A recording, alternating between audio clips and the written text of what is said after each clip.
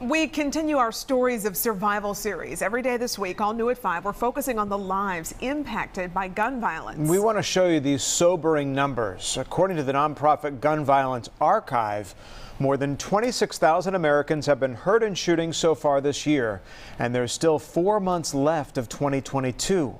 More than 3,000 of those victims were children and teenagers. And here in Atlanta, shooting victims often end up in Grady's Marcus Trauma Center. The Fox Medical team's Beth Galvin spoke with the team there about what it's like to actually treat these survivors. Beth. And Tom and Courtney, you know, we talk so much sort of on the news about the mass shootings, and those do take a terrible toll on communities.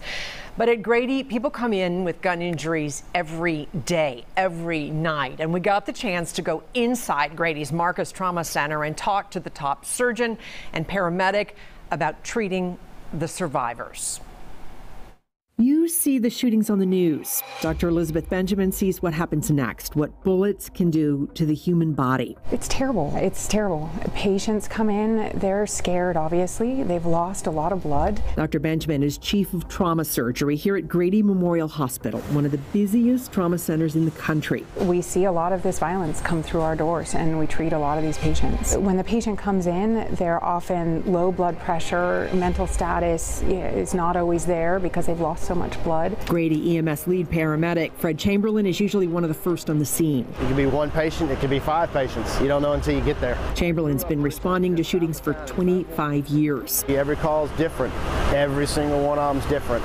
It could be easy peasy, hey, oh, shot in the leg, all right, let's ride, we're going to Grady, to you've got four holes in your chest, I hope we make it to Grady. Because with some firearm injuries, every minute can matter. You just watch somebody slowly head towards the end of their their life is their color becomes pale, their, their breathing becomes labored, and it's a race against time on those patients to get them to a trauma center so the surgeons can actually open them up and stop the bleeding. Once they get the patient to Grady, we take them rapidly up to the operating room, and there's a team there on standby ready to go. But Benjamin says they don't often know what they're up against until they open the patient up. We see a lot of people that come in with minor wounds, but then also people that come in with really major wounds. You know, you see just a small wound on the surface, but inside the bullet has done uh, pretty amazing destruction to the body that requires you know, a lot of medicine and a lot of surgery to try to make them better. Benjamin says we hear a lot about mass shootings, but they see the daily toll of gun violence. This happens every single night. Every single night we have people coming in shot. I can't remember a time that I was on call when I didn't see a gunshot victim. On a busy shift, they may have three or four shooting patients in surgery. In 2021 alone, just over 1,100 shooting survivors were hospitalized at Grady. Know, that person that's shot and they're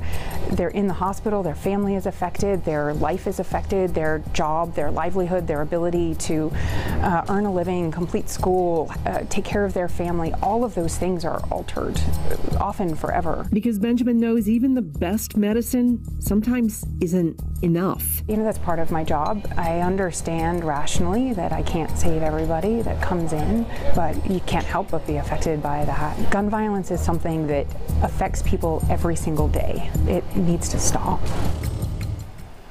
And all this week on Fox 5 News at 5 and at 10, we're going to be bringing you stories of survival, talking to people whose lives have been changed by gun violence.